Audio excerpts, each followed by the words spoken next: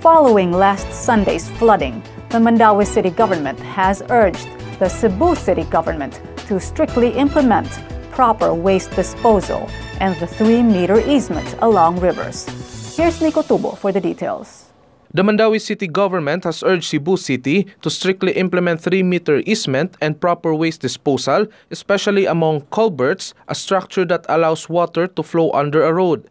Not throwing waste properly and not implementing the 3-meter easement were among the causes seen by Mandaue City in relation to the overflowing of Mahiga Creek yesterday during a heavy downpour piles of garbage composed mostly of plastic containers had gathered under the Subang Dako Bridge along Lopez Jaena Street, clogging up the waterway.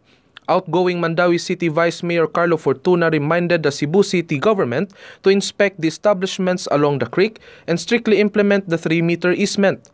Meanwhile, the Cebu City Environment and Natural Resources Office will intensify the program on educating the residents living near the rivers about proper waste disposal.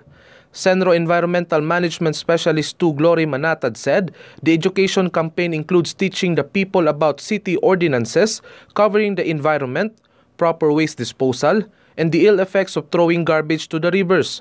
Manatad said Mahiga River is one of the areas where they put up biofence, a garbage collecting barrier made of plastic water bottles submerged underwater. The garbage will then be collected by the Suri Suri Sapa team every week. She said maybe the garbage were not collected during the time Mahiga Creek overflowed since it was a weekend. Nico Tubo, News Bits Tonight.